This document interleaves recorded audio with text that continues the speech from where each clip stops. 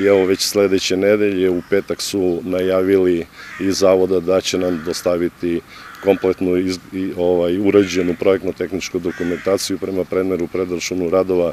ovaj, izgradnja čitavog kompleksa Bela Mačka koštaće oko 97 miliona dinara, izgradnjom i revitalizacijom tog kompleksa prva namena, odnosno prva shodna namena tog budućeg objekta